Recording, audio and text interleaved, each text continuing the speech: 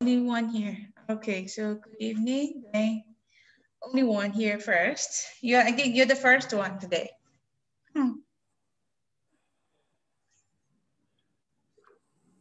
Okay, I'm checking where are the others. Shari, Shari Brasta ini, di lah.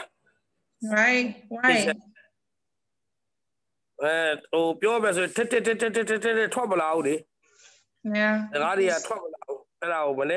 အိမ်မှာလဲရှောက်ပြောတာပဲရှောက်ပြောတယ် Mhm. မှားရင်မှား Really? you can also talk here. Right. မှားတချို့လဲမှားရင်မှား pronunciation တွေလဲမှားရင်မှား vocabulary တွေလဲမှားရင်မှားရှောက်ပြောတယ်အဲ့ဒါမှပဲထွက်တော့မှာပဲ Mm. Uh,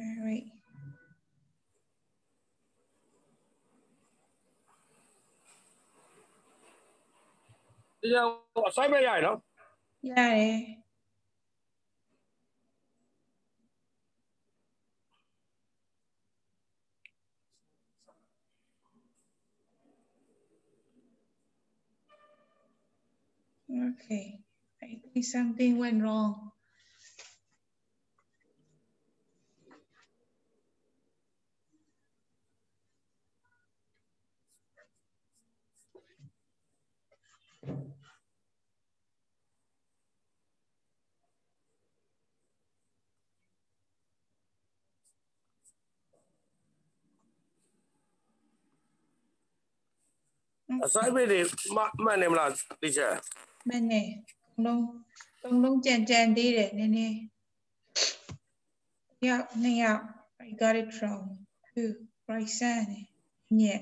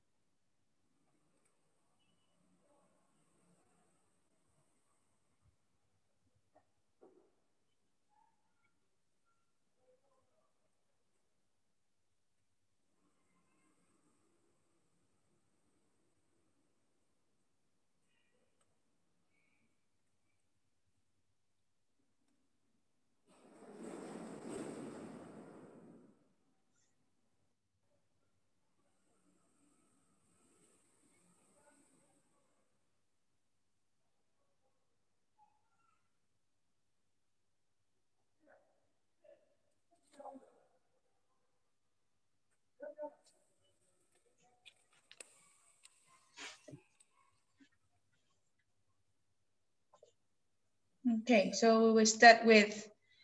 we will start with two students today.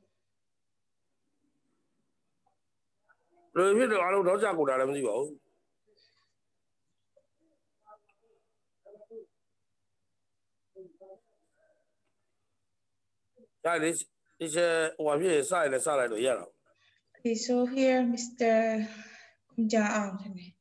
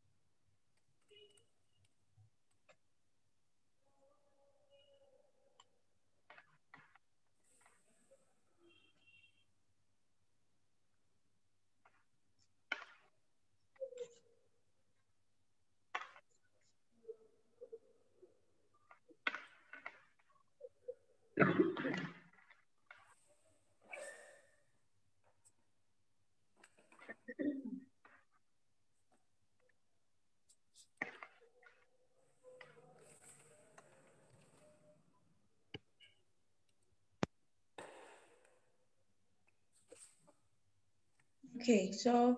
we will start with here. I think the other one, he cannot join the connection.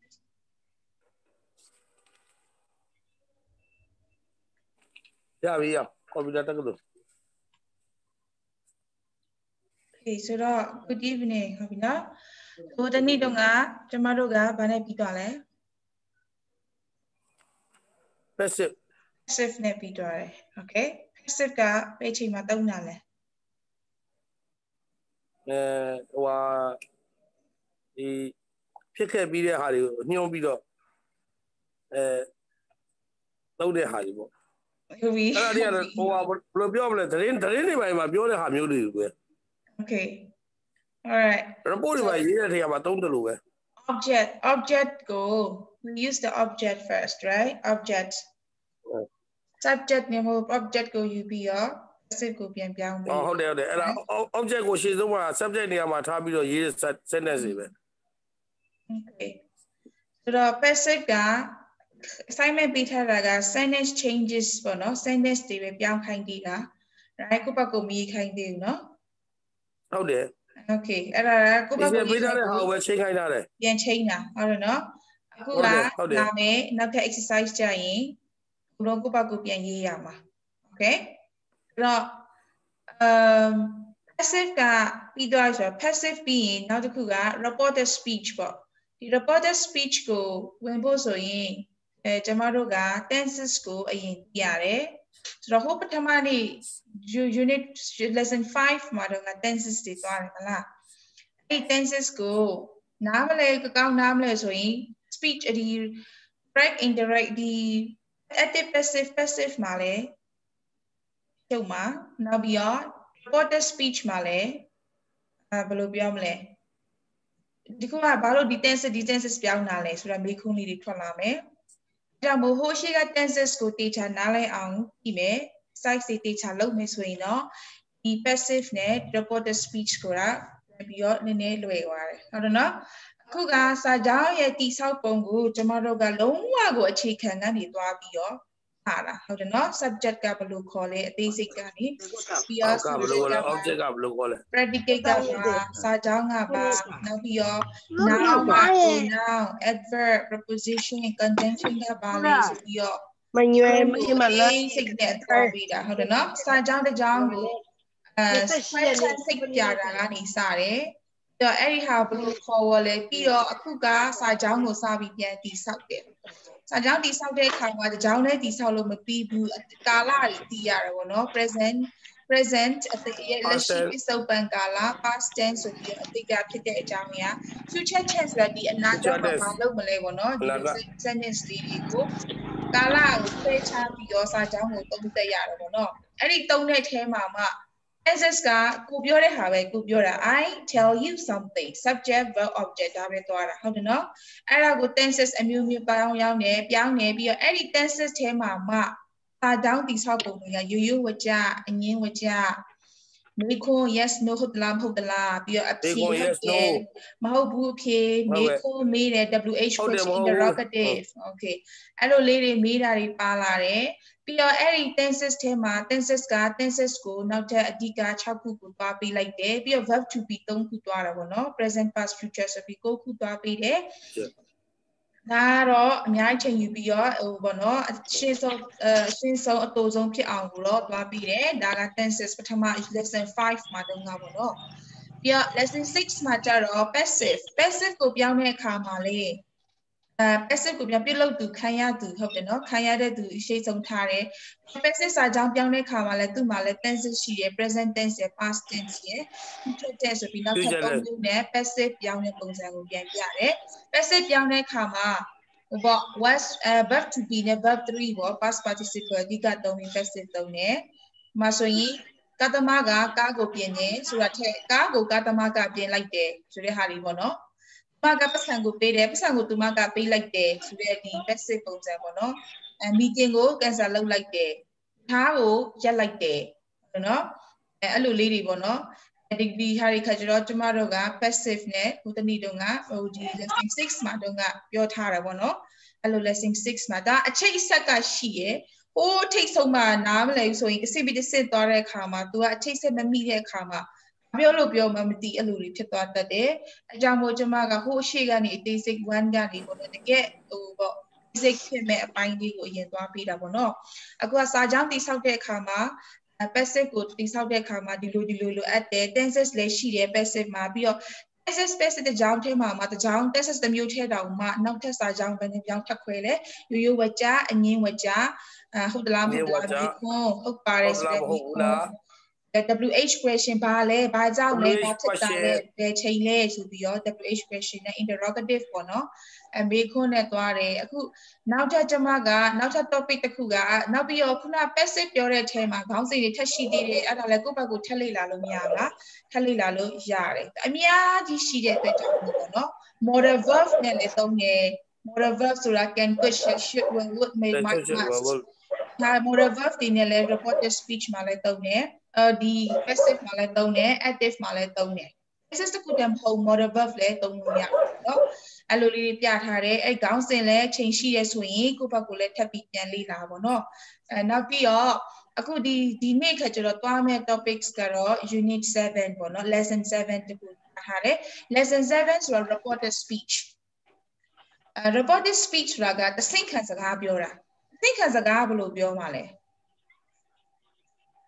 Okay အခုစတင်နေတယ် I'm talking to you ဆိုတော့ကိုက directly Okay ဦးမြင့်မြတ်နဲ့စကားပြောနေတယ် I'm talking to Mr. Mr. မြင့်မြတ်ဆို Mr. မြင့်မြတ်နဲ့စကားပြောနေတယ်ဟုတ်တယ်ဒါ direct ပြောနေဒါပေမဲ့ Mr. မြင့်မြတ်မရှိတဲ့အချိန်မှာဥက္ကုံကြာတော့ပြောပြမယ်ဥက္ကုံကြာတိလား Mr. မြင့်မြတ်ကလေမဖြစ်တယ်ညဖြစ်တယ်အဲ့လိုလေးတွေပေါ့အတင်းပြောတာပေါ့အဲအဲ့လိုလဲဟုတ်တယ်တဆင့်ခံစကားပြောတာဟုတ်ပြီနော်အဲနောက်ပြီးတော့အဲဗာလဲ တခုခုပေါ့အဲဦးမြင့်မြတ်ကဗာလဲ I like apple လို့ပြောလိုက်တယ်ဦးမြင့်မြတ်က apple ကြိုက်တယ်အဲ့လားကျမကဥက္ကုံကြတဲ့ပြောပြမယ်ဥက္ကုံကြဦးမြင့်မြတ်ကလေသူကပန်တီကြိုက်တာတဲ့ဆိုပြီးပြောပြမယ်နော် so ဒါကတစ်စိမ့်ကစကားပေါ့သူတရိုက်မပြောဘူးလူ၃ယောက်ကပြောမှာသူနဲ့သူနဲ့ဆိုတဲ့တရိုက်ပြောတယ်ဒါပေမဲ့နောက်တစ်ယောက်ကိုပြန်ပြောပြအဲ့အကြောင်းညာဟုတ်တယ်နော်အဲ့ဆိုတော့ဒါကစိတ်ခံစကား reported speech လို့ခေါ်တယ်ဒါမှမဟုတ် indirect speech ပေါ့ သင်္ခါစကားအဲ့ဒါသုံးတယ်ဥပမာဆိုရင်ခါရာကပြောလဲခါရာက I am so busy at the office ခါရာကပြောတယ်ကျမရုံထဲမှာအရင်အလုပ်များတာပဲခါရာကကျမပြောပြတယ်နော်အဲ့ဒါကိုခါရာခါရာကပြောပြီးတော့မှခါရာထွက်သွားတယ်ကျမဦးကြီးမြတ်ပြန်ပြောလိုက်တယ်ဦးကြီးမြတ်ရေးတိလားခါရာကပြောတယ်သူအရင်အလုပ်များနေတယ်တဲ့နော်အဲ့ဒါကဗာလဲအဲ့ဒါကသင်္ခါစကားပြောတာပေါ့နော် reported speech ပေါ့ reported space meeting တခုရှိရယ် meeting က meeting မှာကဘာလို့လဲ boss ကတခုခုပြောလိုက်တယ်ကျွန်တော်တို့ director manager တခုခုပြောလိုက်တယ်အဲ့မှာကျွန်တော်က meeting နောက်ကျတယ်နော် meeting နောက်ကျပြီးရောက်လာတဲ့အချိန်ပြောပြီးသွားပြီလက်ခုပ်တီးတီးပြီးတော့ဘာလို့ပြောသွားမှမသိဘူးအဲ့တော့တငယ်ချင်းကိုမေးလိုက်တယ်ငွေချင်း manager ကပြောလိုက်တာလေ manager ကဒီလိုဒီလိုပြောတာအဲ့လိုအဲ့လိုပြောတာပြန်ပြောပြတဲ့ခါမှာဒါကို အဆင့်ခံစကားခုနတငယ်ချင်းက manager စကားပြောတဲ့တော့ခါကျ direct ပေါ့နော် direct speech တော့တိုက်ရိုက်ကြားရတယ် Okay အလုပ်ချိန်မှာ sling တောင်းတဲ့ manager ပြောလိုက်တယ်ဟုတ်တယ်နော် don't smoke in your working hour အလုပ်ချိန်မှာ sling တောင်းတဲ့ in the working hours မှာဆိုတော့ပြောလိုက်တဲ့အချိန်မှာ okay ခုမြက်မြက်လာပြီးတငယ်ချင်း manager ပြောပြောလိုက်တယ် the manager said that not to smoke in the working hour လှုပ်လှုပ်တဲ့နိုင်လှုပ်လှုပ်ချိန်မှာ ကလေးမတောက်ရဘူးဆိုရ manager ပြောသွားတယ် right so this is called reported speech okay စင်ခံပြောရမယ်နော်ခုနကတော့ active တို့ passive တို့မှာကျဘာသာကြောင်းတွေပြောတာလဲ correct စာကြောင်းပြောတာဟုတ်တယ်နော် I like apple I don't like apple I understand I don't understand I understood I didn't understood direct စကားပြောတဲ့ဟာ active တို့ဒီ passive တို့မှာ direct ပြောတာအခု direct ကကျတော့ဒီ reported speak ကကျတော့ sync ခံပြီးပြောမှာ okay အော်ဟိုတနေ့တုန်းက slide slide ဟို slide မဟုတ်ဘူးဟို sign အောင်ကပြောတယ် sign အောင်က sign အောင်ကဒီချက်စီဖုန်းဆက်တယ်ဗောဒီချက် teacher I will be absent today he he's absent ကျွန်တော်ကျွန်တော် I will be absent today ဒီနေ့ကျွန်တော်ပြတ်မယ်အဲ့တော့ sign အောင်ကမတွေ့ဘူးဆိုတော့ဒီနေ့ sign အောင်မတွေ့တော့ကျွန်မကចောင်းသားအားလုံးပြပြလိုက် sign အောင်ကပြောတယ်ဒီနေ့သူចောင်းပြတ်မယ်တဲ့နော်ဆိုတော့ဒီဟာကဘာနဲ့လဲ reported speech နောက်ထပ်တစ်ဆင့်ခံစကားပြောတာပေါ့နော် so that go reported speech လို့ခေါ်တယ် okay so do you understand reported speech နားလည်ပါပြီ Okay စာကြောင်းတစ်ကြောင်းလုံးသွားခင်ကိုပုံပြင်လေးတွေကိုအရင်ပြောကြတာပေါ့နော် Okay ကောင်းတယ်အဲ့လိုမှပဲနားလည်ပါပဲ ပြီးတော့နားလဲသွားတာဟုတ်လား ဟုတ်တယ် Okay so this is like reported speech ပေါ့နော် Okay ဆိုတော့အခု lesson ကိုသွားတော့မယ် the reported uh, reported speech မှာဘာတွေရှိသလဲပေါ့ ဒီဟာ reported speech သွားတဲ့အခါမှာလေကျမတို့ကဒီ tenses တွေကိုနားမလည်ဘူးဆိုလဲအစင်မပြေဘူးပေါ့နော် tenses တွေကိုနည်းနည်းကြည်ညက်နေမှဒီ reported speech ကိုသွားရတာအဆင်ပြေတယ်ဘာလို့လဲဆိုတော့ tenses ကိုမတင်တော့ဘူးပြောင်းတဲ့ပုံကိုတခါတည်းရွှေ့သွားမှာဆိုတော့ခုဘက်ကို tenses ကိုတော့ထပ်ပြီးတော့တေချာအောင်ပြန်ကြည့်ပေးပါအဲ့ခါမှာ passive တို့ reported speech တို့ဆိုတာလွယ်ကူလာလိမ့်မယ်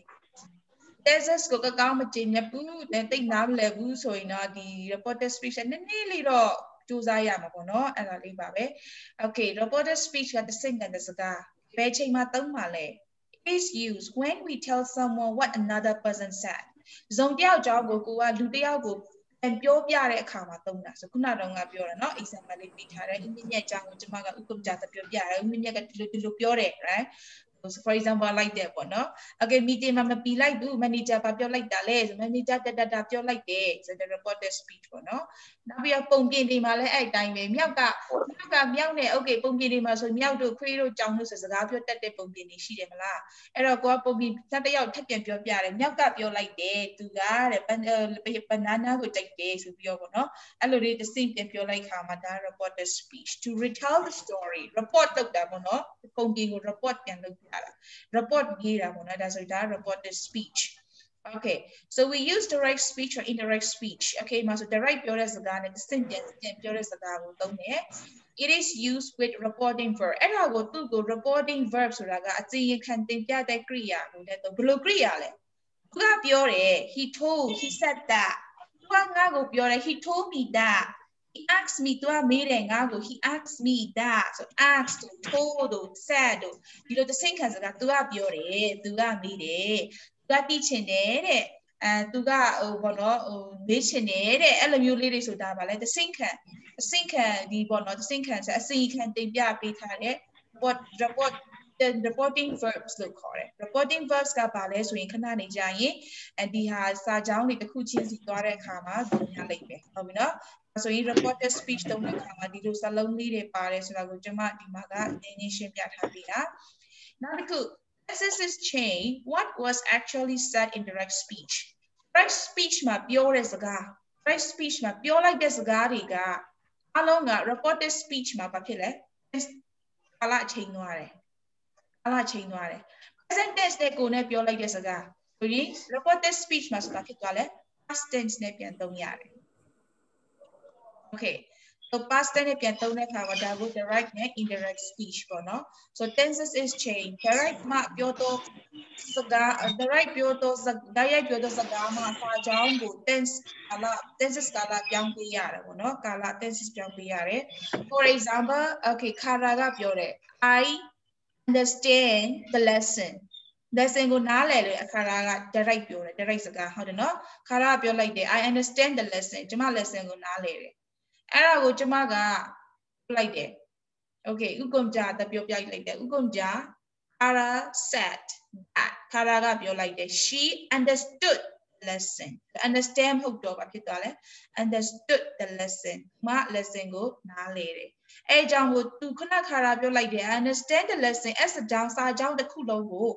ပြန်ပြောင်းပေးလိုက်ရလဲ tense ကာလကိုပြန်ပြောင်းပေးရတယ် present tense က past tense နဲ့ပြန်ပြောင်းပေးရတယ် okay so ဒါက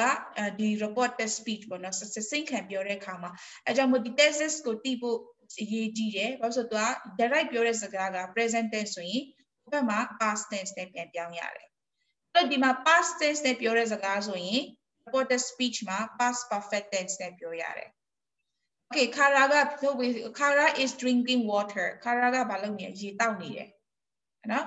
သူခါရာကပြောလိုက်တယ် I am drinking water ကျွန်မရေတောက်နေတယ်ဆရာမဟုတ်ပြီနော်အဲ့ဒီအချိန်မှာကျွန်တော်က slide wing မောင်ကိုပြောလိုက် slide wing မောင် okay ပေါ့နော်ခါရာ slide မောင်ခါရာကပြောလိုက်တယ်ခါရာ said that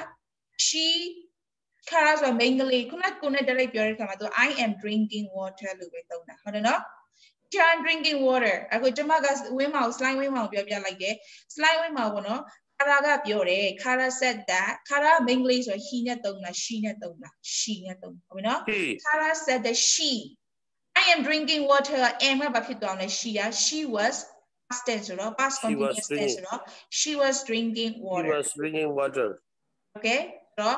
I am drinking present continuous ကဘာ tense ဖြစ်သွားလဲ she was drinking water ဆိုဘာ tense လဲ past continuous tense ဖြစ်သွားတယ်ဟုတ်နော် simple past tense က simple present tense က simple past ဖြစ်သွားတယ် pastor present continuous tense က past continuous tense ဖြစ်သွားတယ် okay ဒါကတစိတ်ခံပြောတဲ့စကားမှာဒီလို tenses တွေစာကြောင်းတစ်ကြောင်းမှာ tenses တွေလည်းပြောင်းနေဆိုတဲ့ဟာကိုဒီမှာကျွန်မက example လေးဒီနဲ့ဟောပေးထားတာပေါ့နော် okay ဒါက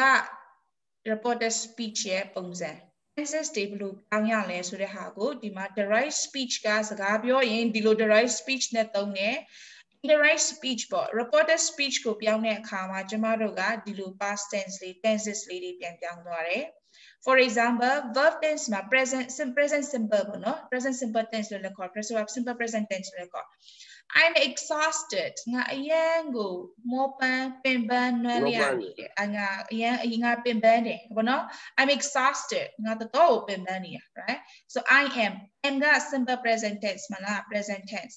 ဒါပေမဲ့ ဟုတ်တယ် ဒီမှာဆိုရင် indirect speech လို့ပြောမှာဆို I ကယောက်ျားလေးလည်းဖြစ်နိုင်တဲ့အတွက်ကြောင့် he နဲ့သုံးနိုင်မှာ he said that သူကပြောတယ် he was exhausted he ရဲ့ past tense က was m m is ရဲ့ past tense က was he is exhausted past tense she said that she was exhausted ။ဒါပြောတယ်ပင်ပန်းနေတဲ့။အပြန်ပြောပြတာ။ဟုတ်ပြီနော်။ဒါ present tense ။ present continuous tense I am studying. Okay, I'm studying ကျွန်တော်စာတိနေတယ်။စာကျက်နေတယ်။စာတိနေ။ I'm studying ကျွန်တော်စာကျက်တယ်။ eh? past continuous tense she told me that she ဆိုတော့အနေဟုတ်တယ်မနော် she ဆိုတော့ she ရဲ့ past tense was uh, MSR ဘာဖြစ်သွားမလဲ was was ဖြစ်သွားမယ်ဆိုတော့ I am studying I am ဆိုတဲ့ I am I ဆိုတဲ့တယောက်က main ကလေးဖြစ်တဲ့အတွက်ကြောင့်လို့ကျမတို့ကဒီမှာ she နဲ့ပြန်သုံးတာခုနခါတာပြောတဲ့အတိုင်းပဲဟုတ်ပြီနော် she told me that she was studying မဘာလုပ်နေလဲစာလုပ်နေတယ်သင်ခံပြောတဲ့အတွက်ကြောင့်မို့ဒီလို tenses လေးပြောင်းတယ်စာကြောင်းမှာဒီ tenses ကိုပဲဒီမှာပြန်မသုံးဘူး tenses ကနောက်နောက်ဒီ past tense ဖြစ်သွားမှာပေါ့နော် okay this is like tenses နဲ့သွားတယ်ဒီ direct နဲ့ indirect speech a simple past tense မှာ I loved the concert concert ပေါ့နော်ဒီပြဇက်ပြဇက်ဖြစ်ဖြစ်ဒီ ပြဇက်ကိုကြိုက်တယ်ချစ်တယ် concert ကိုကျွန်တော် show ပွဲကိုပေါ့နော်ဒီ concert ကိုကျွန်တော်ကြိုက်ခဲ့တယ်ပေါ့ past tense so past tense နဲ့ရေးတဲ့အခါမှာ simple past မှာဒီမှာ past perfect tense ဖြစ်သွားတယ်အားအမြဲတမ်းမှတ်ထားရမှာပေါ့နော် he told me that he had loved the concert. The concert go Present perfect I have never been to Rome, you know. Uh, Roma Mugu, the maya Mayakubu. I've never been to Rome. But hey, Tuma Biore, Tuma the Kanga Brongo Mayakubu, Alupian Bioma. So present perfect, but Pitomle, past perfect Pitore she said that she had never been to Rome. HAD had to, to go Italy. She'd never, she'd never been to Rome. Rome go, ma biyo ay tuma Rome da kama may yaw Okay, so this one is past perfect. That the tenses lame you nep yaw na ko no? Tenses lame you nep the reported speech map yaw ne. And next one, well, well, must, can, may. The modal verb din ele yaw ne. Well, I will help oh. you. Ngami o kunyi. တော့ passive မှာ he said that he would help me သူကပြောရဲသူကငါ့ကိုကူညီမယ်တဲ့ဒီမှာဆို that တွေကိုဘာဖြစ်လို့ gwin စ gwin ပိတ်ပေးထားလဲဆိုတော့ထည့်လိုက်ရတယ်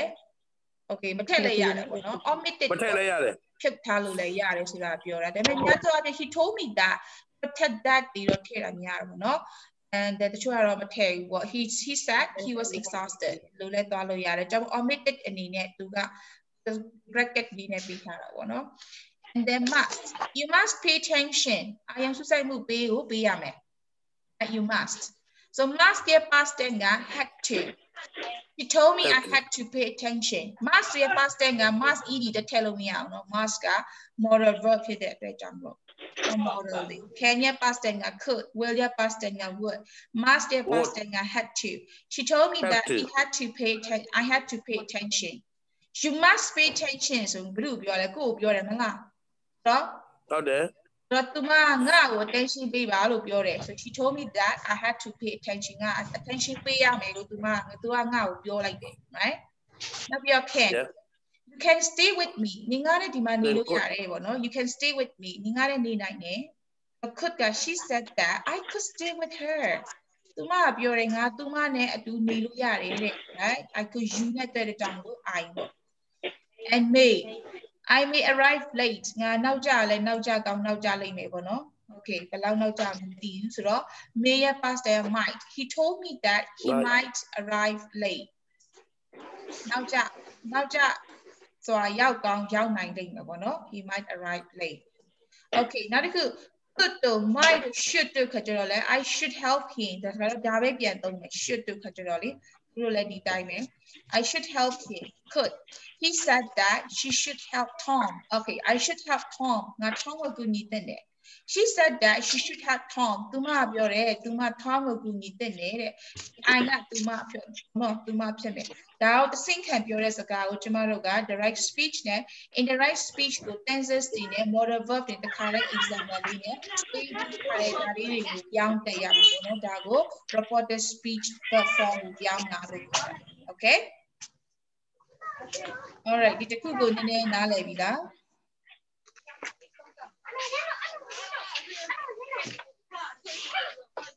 ဒါလည်းပါပြီဆိုတော့ခုနတော့ငါဒီလိုပုံစံလေးပြောင်းလို့ရတယ်ဆိုတာကိုကျွန်မဒီမှာပေးထားတယ်ဆိုတော့တရားရောက်ကိုတစ်တောင်းရတစ်ခုခုတင်ပြတော့မယ်ပြောပြတော့မယ်ဆိုတော့ဒီ reported speech ကိုကြည့်ရတာပေါ့နော်အဲ့အချိန်မှာ set တို့ teacher set တို့ထိုးတို့ပဲချိန်သုံးရမှာတော့ထိုးမီတို့ that တို့ဒါလေးပါလာလိမ့်မယ်ဟုတ်ပြီနော်ဒါလေးတွေ set တို့ထိုးတို့ထိုးမီတို့ဘယ်လိုထည့်ရမလဲအမေ တော့ ask တို့ပဲချိန်ထည့်ရမလဲဒါတွေကဘာဘာ verb လို့ခေါ်တယ် reporting verb လို့ခေါ်တယ်ဒီဖက်ကိုဒီထိုးတို့ set တို့ဒါ reporting verbs တွေလို့ခေါ်တာဒီနော်ခဏလေးတစ်ခုချင်းစီ reporting verbs ကပါလေဘာလို့ပါလာရတယ်လဲဆိုတော့ဒီ direct ပြောတဲ့စကားမဟုတ်တဲ့အတွက်ကြောင့်မလို့ reporting ကရိယာဟုတ်တော့နော် reporting ကရိယာစီရင်ခံတင်ပြရတဲ့ကရိယာပါရရပါလာရတာပေါ့နော် okay reported speech မှာအခုက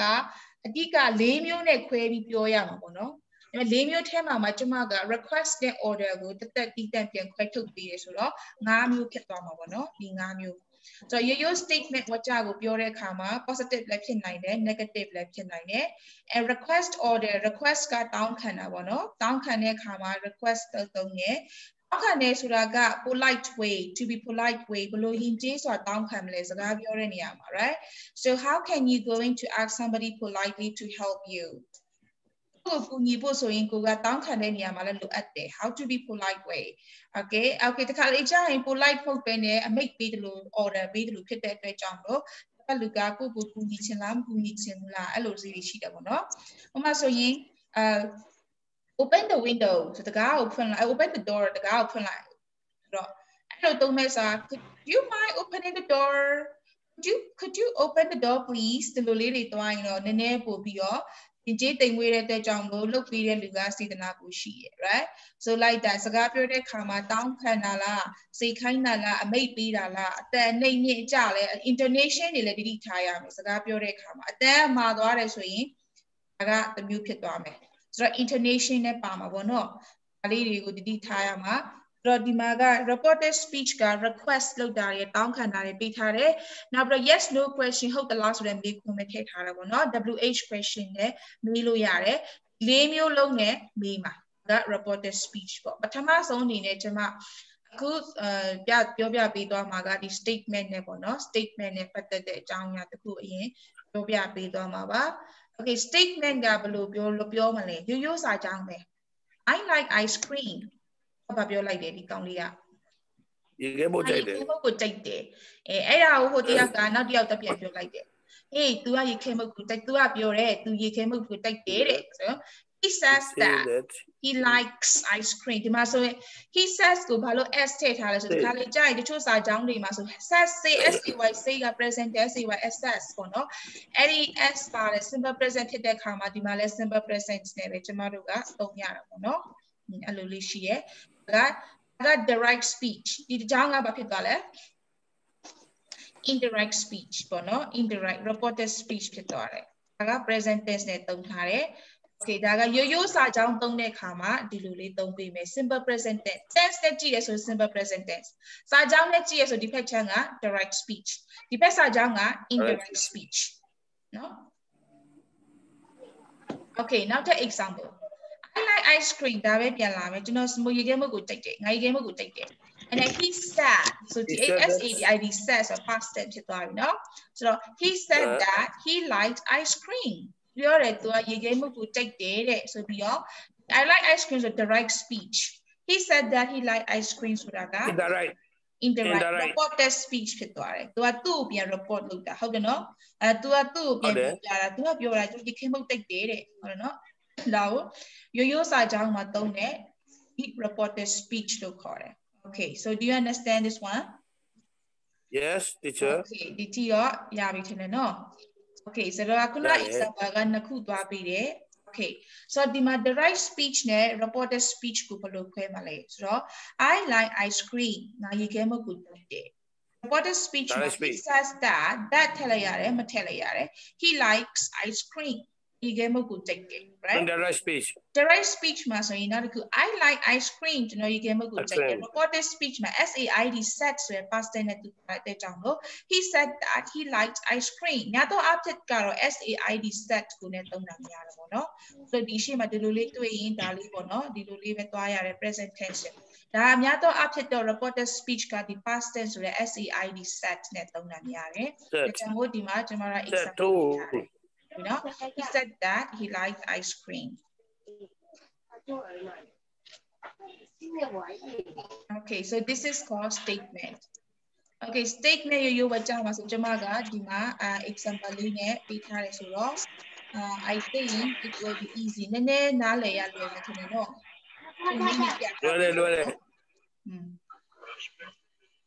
ကတ်တော့ဆွဲထားသေးတယ်ကောင်းတယ်อืมအတုံးနဲ့ပြပေးရတယ်ဟုတ်လား อืมကတုံးနဲ့ကလေးပြတွေပေးတဲ့ခါပုံမြင်ပြီးပြီးတော့ဘယ်သူကဘာပြောလဲဆိုတန်းမြင်ဟုတ်လားဟုတ်တယ် Okay ဒါလိုက် indirect ကိုဒါလိုက်တမ်းမြင်အောင်လုပ်ထားတာအဲတမ်းမြင်လူဘယ်နှစ်ယောက်ပြောတဲ့စကားလေးပေါ့နော်ဒီမှာဆို3ယောက်သုံးယောက် I like ice cream သူကပြောတယ် screen ကြိုက်တယ်တဲ့ဒီမှာနော် he said he like ice cream okay ဆိုတော့ ဒီမှာ example လေးပြန်ပေးထားတာနော်အာ statement ရိုးရိုးဝကြမှာ ရှင်ဖော့ရှင်ဖော့ no I like ice cream ဆိုရင်ဒီမှာကြိုက်တယ် ပေါ့ he လား said he likes ice cream ice cream ကိုကြိုက် no The right ရှင်ဖော့ speech လား မှာ I like ice cream he ရှင် said ဖော့လား that he like ice cream ဆိုတော့ said that နဲ့သုံးတာ နန်းကိုရှန်ကလားနောင်နေတင်ပဲနေကြော So next one another example the John ကပြောတယ် the right speech မှာ I'll be late ငါနောက်ကျလိမ့်မယ်နော်အဲ့လိုလေးတွေပေါ့နော် I'll be late ငါနောက်ကျလိမ့်မယ်နော် အဲ့တော့ကိုကပြန်ပြောပြတယ် John ကပြောတယ်ဒီနေ့သူနောက်ကျမယ်တဲ့ on said that John said that he would be late he Hey, will be Adele က late ပြောတယ် I will be late Adele ကဒီနေ့နောက်ကျမယ်တဲ့ဟဟလားအဲ့ကိုကအားလုံး Adele ကဒီနေ့ဖုန်းဆက်တယ်သူပြောတယ်သူနောက်ကျမယ်တဲ့ဆိုတော့ဒါကဘာလဲ reported speech ကိုပြောတာနော် and နောက်တစ်ခုက she John said that he would be late John ဆိုယောက်ျားလေးဖြစ်တဲ့အတွက်ကြောင့်မို့ကျမတို့ကဒီမှာ he ပြန်သုံးပြရတာနော် he would be late ဘာပြောတယ်သူကသူနောက်ကျလိမ့်မယ်တဲ့ နောက်တစ်ခု when told me that he was going to be late ဆိုတော့ဒီမှာသူနောက်ကျမယ် future tense ပဲဒါပေမဲ့ was going to နဲ့သုံးလို့ရတယ်ဟုတ်ပြီနော် he is going to be late နောက်ကျလို့ကြတော့မယ်ဆိုတော့ he was going to be late ဆိုတော့ John ကပြောတယ်သူကနောက်ကျလိမ့်မယ်တဲ့အတူတူပဲဒါပေမဲ့ဒီမှာကြည့်မယ် said နဲ့ told me နဲ့အမဲအောင်ထားထားပြီးရယ်ဆိုတော့အဲ့နှစ်ခုကဘာကွာလဲဒီနှစ်ခုကအတိတ်ပဲကတူတူပဲ ကပြောတယ်နောက်ကြမယ်သူကသူကငါ့ကိုပြောတယ်နောက်ကြငါ့ကိုဆိုတာတဲ့ object ကပါလာတယ်ဆိုတော့ we tell we we tell tell လို့ told လို့ပြောမယ်ဆိုရင် we need the object tell နဲ့ told နဲ့သုံးတယ်ဆို object လိုအပ်တယ် object ကဘယ်သူတွေလဲ me ငါ့ကို you သူ့ကို her သူမကို him သူ့ကို us ငါတို့ကို them သူတို့ကိုဆိုပြီးတော့ဒီ object လိုအပ်တယ်ဒီ tell လို့ told လို့သုံးတဲ့နေရာမှာဒါပေမဲ့ say ပေါ့နော် he said he said C S A Y say ပေါ့နော်အဲ့ဒီဟာခါကျတော့ ဖြစ်တယ်လဲဆိုတော့ we can't use the object object သုံးလို့မရဘူး set he said me that he said her that ဒီလိုသုံးလို့မရဘူးဥပမာ object မလို့သုံးလို့သုံးစရာမလိုဘူး me တို့ them တို့ us တို့ her တို့ him တို့ဒီမှာ set ရဲ့အနောက်မှာဒီလိုလေး he said me that တပြောလို့မရဘူး he said that တခါလေးသုံးရတယ်ကိုသုံးတဲ့ခါမှာပဲ he told that လို့မသုံးဘဲနဲ့ he told me that he told him that John told me that I told them that ငါတို့ကိုပြောလိုက်တယ်ပေါ့နော်ဒီ object ကပါရတယ်ဆိုတော့ said နဲ့ told me က said နဲ့ told ကဒီမှာအသုံးနဲ့ဆိုရင်စာကြောင်းရေးတယ်ဆိုရင်အတူတူပဲအတိတ်ပဲကဒါပေမဲ့တုံးတဲ့ခါမှာသူက object လိုအပ်တယ် set set က object မလိုဘူး told ကကျတော့ object me ဆိုတဲ့ me တို့ your တို့သူ့ကိုဆိုရင်ဟင်းပေါ့နော်သူမကိုဆို her တို့ကိုဆို them ငါတို့ကိုဆို us ပေါ့သူကငါတို့ကိုပြောလိုက်တာ us us အဲ့လိုပေါ့နော်ဒီမှာ object လိုအပ်တယ် okay ဒီမှာဆို reporting verbs ကလာပြီ reporting verbs ကဘာတွေလဲခုနကကျွန်မပြောတဲ့အတိုင်းပဲ present tense ဆို tell that tell me that ပေါ့နော် present tense past tense ဆို said that told me that ဆို past tense နဲ့ ဒါပေမဲ့ဒီမှာကျမတို့ကအဓိက past tense နဲ့ဘာလို့သွားလဲဆိုတော့ဟိုစကားကပြောပြီးသွားပြီလေဟုတ်တယ်မလားနောက်ထပ်ပြန်ပြောတဲ့အတွက်ကြောင့်ကျမတို့များသောအားဖြင့်ကတော့ past tense နဲ့သုံးတာများပါတယ်က reported speech ရဲ့ရိုးရိုးပုံမှန်ဝကြကိုဒီမှာပေါင်းပြထားနေတယ်ပေါ့နော်ဆိုတော့ဒီ ठी ကိုနည်းနားလည်မယ်လို့ထင်တယ် Okay နောက်တစ်ခုကလည်းထပ်ပြောမယ် I understand the lesson ဒါက positive sentence တွေနော်ရိုးရိုးဝကြိုက် positive sentence တွေငါသင်ခန်းစာကိုနားလဲတယ်ဆိုငါဆိုတဲ့တယောက်ကယောက်ျားလေးဆိုရင်သူ့ကိုဘာသုံးမှာလဲ pronoun က he မိန်းကလေးဆိုရင်ငါဆိုတဲ့တယောက်ကမိန်းကလေးဆို she ဟုတ်ပြီနော်ဒီမှာငါယောက်ျားလေးဆိုတော့ he said that he understood the lesson ဘာလို့ understand က understood ဖြစ်သွားလဲ understand က present tense understood က past tense ခုနပြောရ present tense ဆိုရင် past tense နဲ့ပြောင်း tense ပြောပြီးသွားပြီလေ in the reported speech မှာ tenses ကိုလုံးကိုပြောင်းပေးရတယ်ဆိုတော့ I understand the lesson အဲ तू ကပြောတယ် तू lesson ကိုသင်ခန်းစာကိုနားလေတယ်တဲ့ तू ကပြောတယ် right said နဲ့မသုံးမနဲ့ told ဆိုတဲ့သုံးတယ်ဆိုရင် told me ပေါ့နော် he told me that he understood the lesson yes understood သူကငါ့ကိုပြောတယ်သူသင်ခန်းစာကောင်းကောင်းနားလေတယ်တဲ့ဒါပြန်ပြောတာ right တခုရိုးရိုးပါစာကြောင်းကိုပဲ negative နဲ့သွားမယ် I don't understand the lesson ငါသင်ခန်းစာလုံးဝနားမလဲငါသင်ခန်းစာကိုနားမလဲတာဆိုတော့ပြောတဲ့တယောက်က he လို့ဖြစ်မှာပေါ့နော်ယောက်ျားလေးဆိုရင်နော် he said that he did, didn't understand lesson he don't understand or he doesn't understand လို့သုံးလို့မရဘူးဒီမှာ past tense ဖြစ်တဲ့အတွက်ကြောင့် past tense ပြန်ပြောတော့ငါ past tense သုံးရတဲ့ကြောင့်ဘာဖြစ်သွားလဲ didn't ငင်းမယ်မအငင်းညမှာ present အငင်းနဲ့ past tense အငင်းဖြစ်သွားတယ် right past tense အငင်းနဲ့ so he told me that he didn't understand the lesson သူကငါပြောတယ်သူသင်ခန်းစာနားမလည်ဘူးတဲ့ပြောတယ်သူသင်ခန်းစာနားမလည်ဘူးတဲ့ he he said that နောက်တစ်ခု he told me that he didn't understand the lesson ငါ့ကိုပြောတယ်ဒီ lesson လုံးဝနားမလည်ဘူးတဲ့အဲဒီဒီစကားတွေပြောဖူးတယ်မလားနောက်တစ်ဆင့်ပြန်ပြောပြတာလေဟုတ်တယ်မလား okay တော့ဒါကဒါက reported speech ရဲ့ statement ရိုးရိုးပုံပုံဝကြကို subject verb object ဒီစာကြောင်းလေးတွေကိုကျမတို့က thesis လေးတွေနဲ့ပြန်ပြောင်းတာအဲ reported speech ပေါ့နော် okay reported speech က number 1ဖြစ်တဲ့ statement ဆိုတဲ့ရိုးရိုးဝကြကိုဒီမှာကျွန်မရှင်းပြပေးတော့တာဖြစ်ပါတယ်ဒါလေးကိုနားလည်လားနားလည်ပါတယ်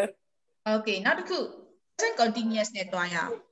I am listening to music ငါဘာလုပ်နေရလဲငါတချင်းနားထောင်နေတယ် တရှင်းနားထောင်နေတာ ငါဆိုတဲ့တယောက်ကမိန်းကလေးဆိုတော့ဘာပြန်ပြောလဲ pronoun က she သူမဟုတ်တယ်နော်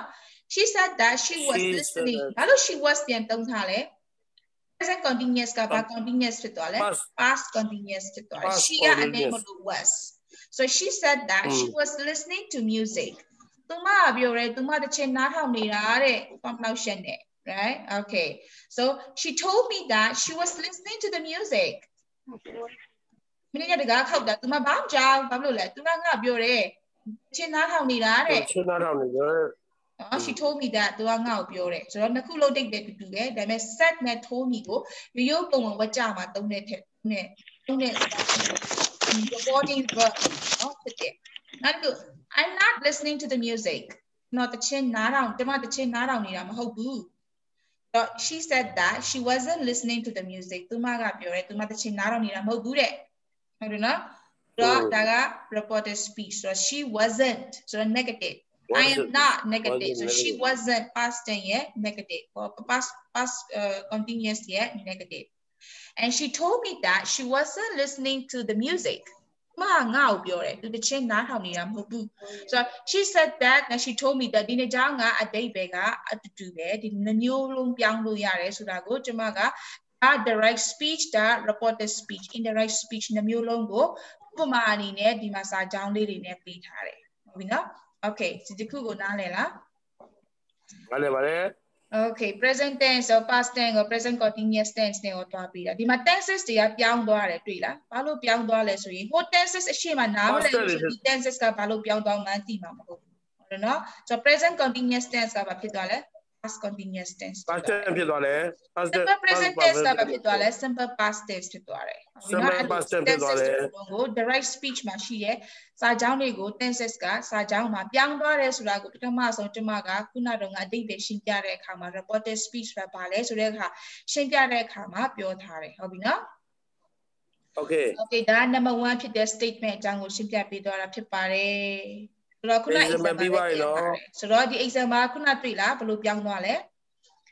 sentences တွေတွေ့ပါပြောင်းပြီတယ်ဒီမှာစာကြောင်းဒီလိုဆိုရင် hope reported speech တော့ said that တို့ told me တို့ told me said that told me တွေ့လား told me မှာ me မပါဘူးလားပါတယ် said that ဒီလိုပါပြတယ်န်ပါလာတယ်ပြီးတော့ am am is are မှာဒီမှာဘာဖြစ်သွားလဲ was were ပြန်ဖြစ်သွားတယ် present were I'm ဖြစ်သွားတယ် studying I was she was can studying Okay ကန်ကဒီလိုဖြစ်သွားတယ်ကိုတို့ဒီ example လေးပဲပြန်ပေးထားတယ်ဆိုတာပြန်မှတ်မိအောင်ပြန်ပေးထားတာဟုတ်ပြီနော်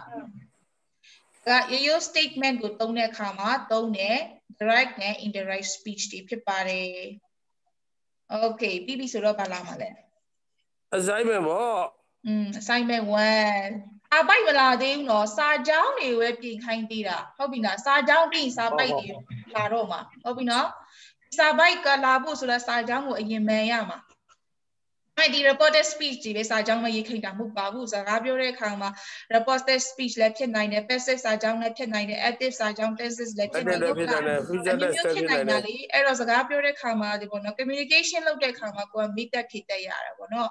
ဒါက assignment 1ပါတော့တော့ right hand the right speech and reported speech with the statement statement ကိုဘယ်နှတောင်း right speech ဒီလိုလဲရေးပေးပါပြီးတော့ statement set သုံးချင်သုံး told me သုံးချင်သုံးနှစ်ခုထက်တစ်ခုသုံးလိုက်ဟုတ်ပြီနော်ဒီနှစ်ခုလုံးသုံးရမယ်လို့တော့မပြောပါဘူးကိုပါကိုတကြောင် direct speech တကြောင် indirect speech တကြောင်ကိုပါကိုပြင်ပေးပါဟုတ်ပြီနော်အဲ့ဒါတော့ကောင်းကောင်းလေးမှတ်မိသွားမယ်ဟုတ်ပြီလားဆိုတော့ညညရေးလေးကောင်းကောင်းမှတ်မိရေးတာလေကောင်းကောင်းမှတ်မိအလားကြောင်း20အကြောင်း20ဟုတ်တယ်အဲ့တော့အခုက We, we uh, okay, so Laura, can you please join again? Join can look ba.